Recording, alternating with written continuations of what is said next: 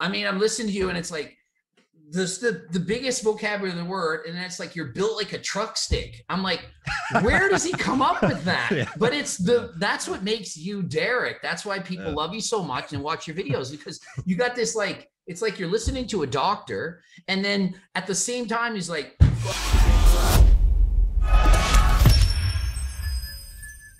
So we have Derek, more plates, more dates with us today. And I used to always call this guy plates for dates. And the first question I have is, did that bother you? Is that annoying? As annoying as my voice?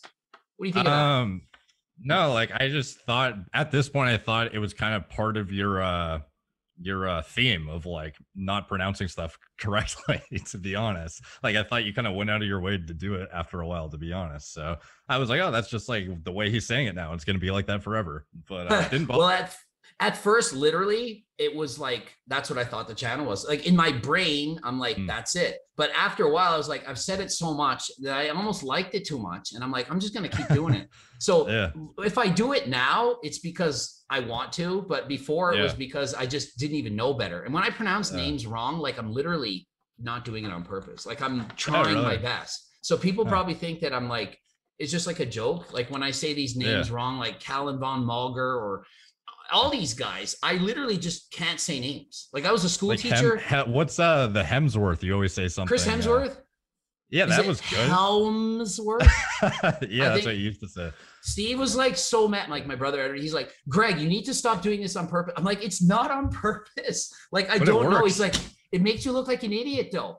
I'm like, well, I'm not trying. He's like, so he thinks it's funny. He thinks I'm thinking it's a joke or something, but literally, Yeah. I'm just like, no, I just don't know better. I just suck that bad. Ashley K. Alt Was. Er, Ashley called was here. Going back, I first remember your channel. You had like 30,000 subs, like way back. And I think we had the same sauna background back then. Oh, really? And I- yeah. Yeah, literally. And I'm like, what is this channel? More plates, more dates. It's about like getting girls when you work out. And I'm listening to the information, like it sounds really good. Like the quality of the information's there, but I was so thrown off by the name of the channel. It's like, does he actually know what he's talking about? Like I wasn't sure. Is that something you thought when you started listening to my channel? Like this guy sounds like an idiot, like screaming and shouting, but the information seems to be all right. Is there any similarity No. there? For well for me like you have the credibility of you know like greg just said ifbb pro like coach blah blah blah. So like you go into your channel thinking it's high quality information i feel like. Whereas for me i've always sort of felt like perhaps i've been hindered in that i have to overly win somebody over who's a new subscriber to kind of ex- realize that my information is high quality relative to what the you know initial perception of the name is so I've like highly considered rebranding a, fl- a few times to just like I don't know, like more plates or something, or just something entirely different. Um, but it's like I'm in so deep at this point that I feel like it would not work. So like when I when I see people in other industries outside the fitness industry bring up my channel now, like sometimes it almost makes me think I wish I had a more favorable name that gives a better impression of like the scientific content of my of my channel rather than you know having to overly i almost feel like i have to make up for my channel name sometimes from like the way it comes across but at this point yeah i think i'm just you know i think most people who are going to find it have uh you know are kind of just on board regardless and i feel like it would be kind of weird if i rebranded at this point but yeah for you i never thought anything otherwise you know? Like for you you have the credibility behind your channel already from the get-go and i thought you had a very uh straightforward way of making it like layman's perspective to more people to understand, you know? As Yeah, anabolics and like scientific related content. what, what's funny for me is that the IFBB Pro card, I always felt like it gave you almost like a, a PhD per se, because before I had that card, I knew the same information, but if I explained something, they were like, it's just Greg. And then I got the pro card and it was almost like all of a sudden I know something, but I know a lot of pros and I know that most pros know nothing. Like they're complete idiots. They don't know about the PDs they're Yeah. taking. They don't know why they're training or eating a certain way. They're just kind of like blind and just lucky and it's genetics. Like what do you think about that? You must have talked to other pros. You find that they're it's almost surprising how little they know. Like the first cycle I ever Yeah. took, I knew more about the PDs than the people that were selling them to me. Yeah, yeah, exactly. I uh have definitely like when I first got into learning about this stuff, obviously you have the impression that people who are you know superior physique development wise or whatever must know something you don't know or they have some special technique in the gym or some diet hack or whatever it is. And in reality it seems like the more genetically blessed they are the less they actually delve into some of the more intricacies of things and they just hyper respond to everything to the point where some of them don't know fucking anything to be honest. And it's just like it's very blatantly obvious in the way they speak that you know they don't even know how to interpret their blood work. They don't know how to design a protocol for you know fill in the blank sport or for you know whatever. Like when i see top pros that some of them are very intelligent obviously but a lot of them when i see them coaching i'm like i'm thinking even though you're a top pro you probably have no business coaching other people because your hyper response to everything you do is not applicable to like 99% of other people yeah, my respect for your knowledge, it kept going up every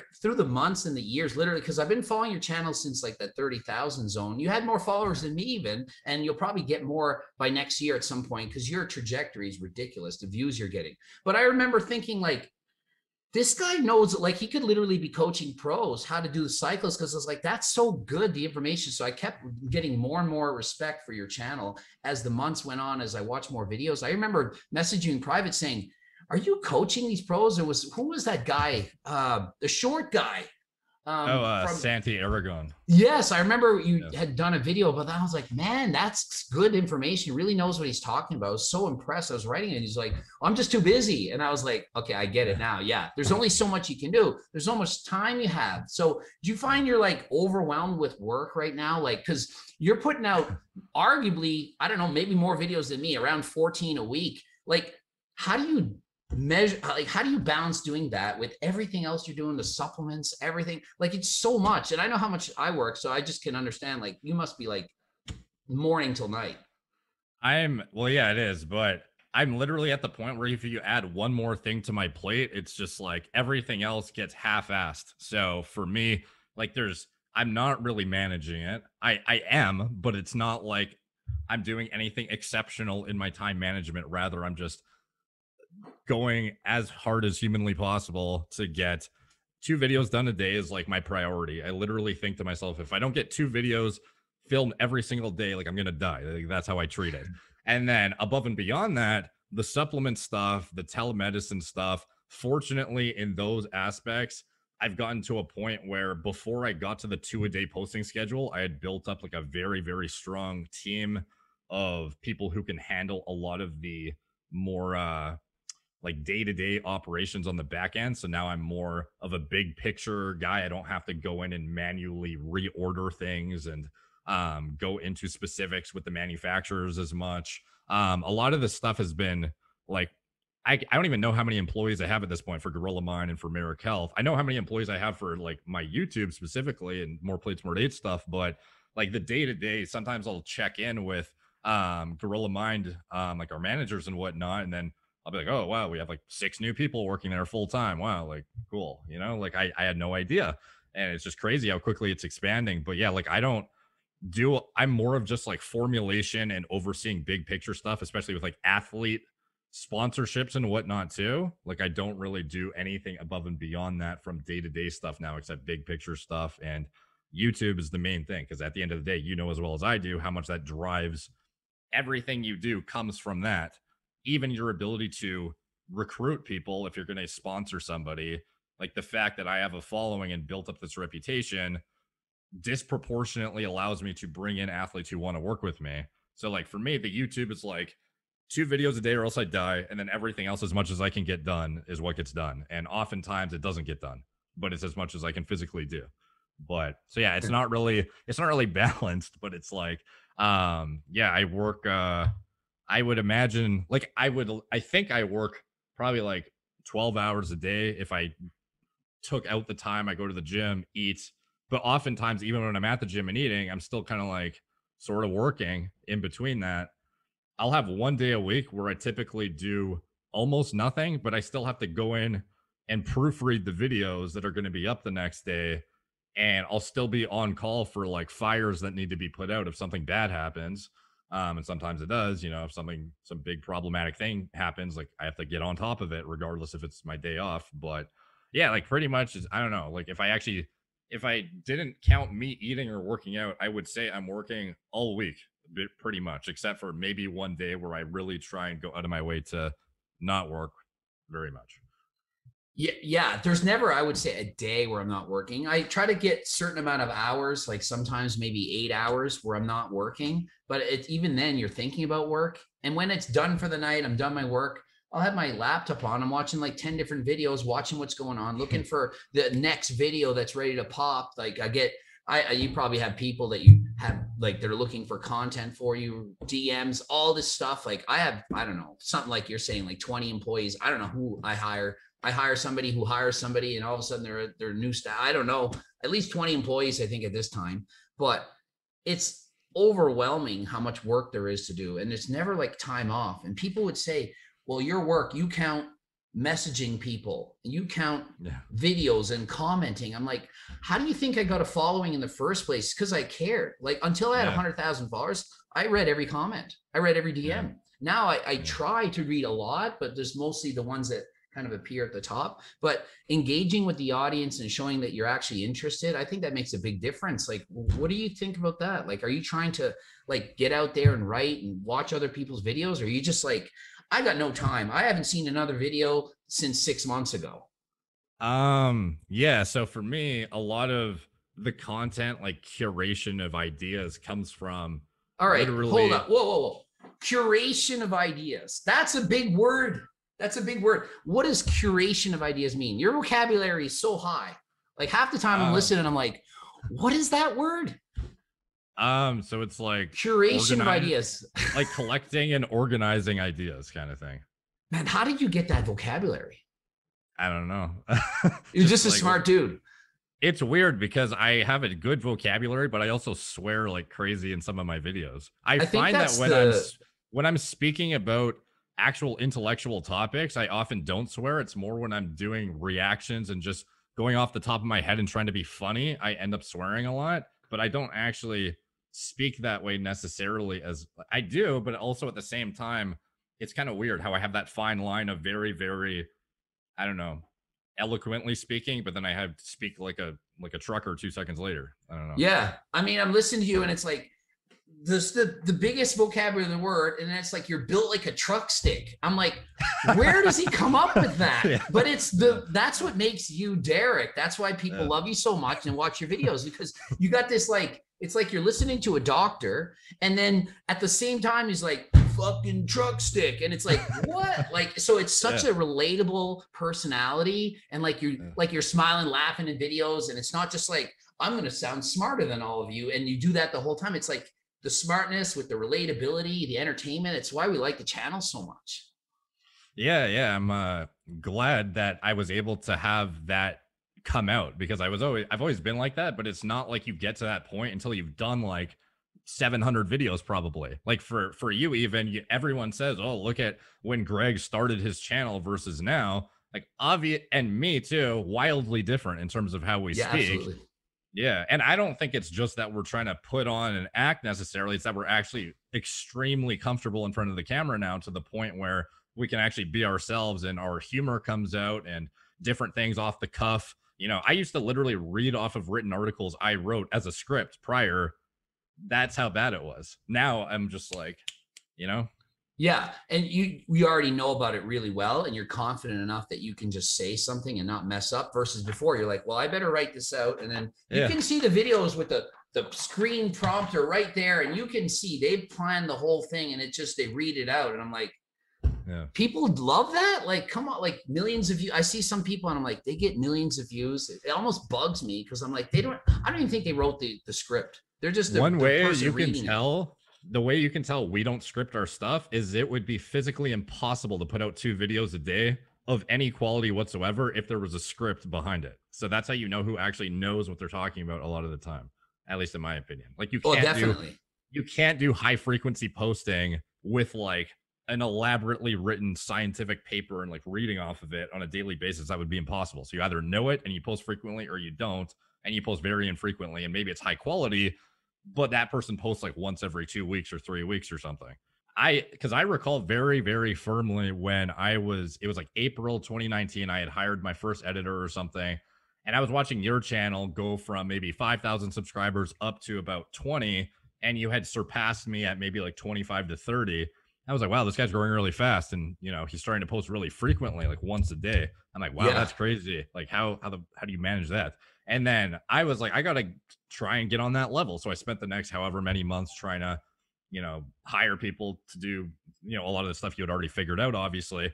By the time I had gotten up to one a day, you were doing two a day. And I was like, this is this is impossible. I was like, this guy's an absolute freak of nature. I, I don't know like how he does it. And then after a while, I had outsourced enough things where I was thinking like, okay, like I I clearly saw how it was not the algorithm wasn't hurting you for posting more frequently. Like you would still get over 100k views a video regardless if it was twice a day. I truly thought people would get annoyed if we posted that much. And I was like, okay, like whatever you got to do to get to two a day, like this is what you need to do. So I spent a few months trying to, you know, hire out for certain things and get as much stuff off my plate as I can to get up to two a day. And then I got up to that and, you know, obviously dramatic change overnight pretty much. But it's like your your actual inspiration to do that was that just you logically thinking like I need to do more? Because back in the day, somebody vlogging once daily or something would be like the pinnacle of frequency. So this is like a whole another echelon of posting. Well, honestly, I just thought the people that are watching my videos, maybe only 40 to 50% are subscribers. So the ones that aren't are not subscribers and they've never heard of me. And I was thinking, well, on Instagram, if I post twice a day, there's more likelihood that somebody's going to stumble onto something. And the more videos I produce, the more varied videos I can produce. So if I produce one a day, that's going to be better. So why not two a day? And I've literally been contemplating three a day. I'm not even kidding. I thought like- of that too. I thought of that too. I was I like, I was like, what would the, I was like, what would that look like? And I was like, is that sustainable? I I don't know. That's like the borderline of me thinking I would, I I would have to have everything outsourced to the point where I literally have like I don't know, like a feeding tube, and I'm just sitting here fucking. I'm close to filming that right now. Yeah. it's Yeah. very close. I would just like the joke with me, just hire more staff, more staff, more staff all the time. But like Yeah. my brother, I think would would would have be disowned. Like we'd have families to worry about. Like it's just you Yeah. can't do that much. But. I mean, there it comes a point of like dim, law of diminished returns. But I mean, we were gonna do a sister channel. We're gonna just do like Coach Greg females, kind of like Jeff Wow. Cavaliere has a female only channel. And I was like, yeah, but then I got to build up that channel. It's different. Why Yeah. don't I just put them all in the same channel and just grow it from there? So I thought, yeah, that's probably the better play. But I 100% think that it's better to do two videos a day than one, and it's varied content. And I'm still trying to get new subscribers. For me, your channel is only as good as it's been in the last six months. People come and go, and they're going to get sick of you, yes, but they're not going to watch every one of my videos. Like even your videos, who I watch more than anyone's, I only watch probably half, which is a lot. You go, uh, that's, That's a one lot. a day. That is you a know, lot. So I'm Yeah. watching a lot of your videos, but like people are like, Greg, these same videos. This is it. I'm like, there's 14. Choose two a week and watch them. Yeah. And just that's what everyone else is putting out. Two videos a week that if you like, that that's more than enough. So I don't care if you don't like this video about this boring topic. I'll talk about PDs, natural, losing weight, lifting in the gym, what I eat, something stupid, rapping like six, nine, five, six, all Yeah. that stuff. Like who cares? But people are very Yeah. critical of like what kind of videos you're doing, which is annoying because I want to put out more sciencey kind of videos, but then they don't get the views. I spend twice Yeah. as much time on something and I get half the views. Yeah. Yeah, like I notice uh like even when I posted elaborate scientific content, I still do, but a lot of it comes in the format of reactions and stuff that I know is going to draw in more people, but because they come up less frequently proportionally to my overall posting schedule, people think I'm posting it less, but in reality if you actually went back to me 3 years ago, I'd post one video every 2 weeks, 3 weeks or something. So it's like nowadays I post 14 videos a week. At least one of those is like high quality scientific information. So it's actually I'm posting more scientific information than I used to. It's just like proportionally people don't really get that and they get kind of annoyed if you do like a, a Sylvester Stallone video and it's like when you see that thing come up you're like this is I got to cover it because it's going to score views but like it's not actually that useful to make a video about. And I'm sitting Yeah. there recording it thinking like like I don't want I don't even want to record this. Like look at Stallone, he did this thing. Like is it fake weights? Like what do you think? Let me know. Like I- it's hundred percent true. The Stallone thing came up, and then I have like people that give me content. You, Greg, you should do the Stallone video. I'm like, again, what's with this stuff? And then you put out the video. I put mine out the next day, and I watched yours before I even recorded mine. And I'm like, I can't believe this is getting this many views. It's now my most viral video by a mile. I have like Yeah. 1.1 million views in like two weeks. I'm like, it took me six months to get a million views on any other video. This is in Yeah. the two weeks, and I'm like, why? I literally just bent over and just pretended to lift the weights, or like it was just silly. But those I did, videos uh, get more more views. Yeah. So why are we not going to do them? I did a video on Chris Hemsworth calves. Yeah, His his calves because I he saw was it. Because he's wearing shorts and like he just didn't have a good angle. And that video got like 800,000 views in like a couple of weeks. And I'm just like, you cannot complain to me about lack of scientific content when you guys eat it up. Like, you know? Yeah. So I watched that and I saw. I think you had like three hundred thousand views in like twelve hours, and I'm like telling Steve, I'm like. And people complain that we do these videos. Here's Chris Hemsworth's got no calves, and it's like everyone wants to watch it. Or you could put a scientific explanation of what PDs to take to target this, what, and no one watches it. But yet anything on some guy, and it's like everyone's eating it up. So they wonder why we do these videos. And to do those videos, like trend, you got to kind of tie it in with a the 14 year old took trend and then it's like okay well, that's interesting now. Or this celebrity came out and admitted to being on hrt okay now i can do an hrt video. But i can't just say hrt explained the top five do's and don'ts. It's like no one's Yeah. watching that. Yeah, it's like you got to make it almost like TV entertainment plus information simultaneously for it to be highly watched. It can't just be like, here's good information, like watch it. Doesn't work like It's- that anymore. speaking of like um videos and like we've gone we've done a lot is there any that you like regret having made like is there one video that sticks out in your mind that you're like oh man if i had a rewound time i you know if i was on hrt and i travel back in time that is the video i'm not freaking doing again Um, because I have I have over a thousand videos, so it's hard for me to pick out one off the top of my head that was like such a bad response that I would have not done Any it. Um, serious dislikes any videos that were the, the most disliked video can you think of any if you can it's a good sign it means there's probably nothing bad No, I think for me, it's more so when I've put out not incorrect information and learned in the future something that made me look back on my that video and be like, wow, that was stupid, you know? And then I'm just, you know, it's had like a hundred thousand views, and a lot of people think like, wow, Derek, so insightful. And there's like a lot of it's because in general, if me or you say something, people in general will think it's correct, which is, you know, how like realistically how a lot of these not not that we're doctors of course but how a lot of these doctors anything they say if they're seen as an expert on youtube it's like gospel even though it's totally incorrect so like when i think back to some of the stuff that i've learned is incorrect over the years i think you know i cringe thinking of the stuff i said so confidently at the time that i now think is totally wrong but off the like so i can think of probably like i don't know a handful of videos plus at least more than a handful that you know i would go back and redo if I could, but there's none off the top of my head that stick out. It was like one video that was so bad. Um, I don't know, like some of my old Natty or Not videos that are my highest watched ones.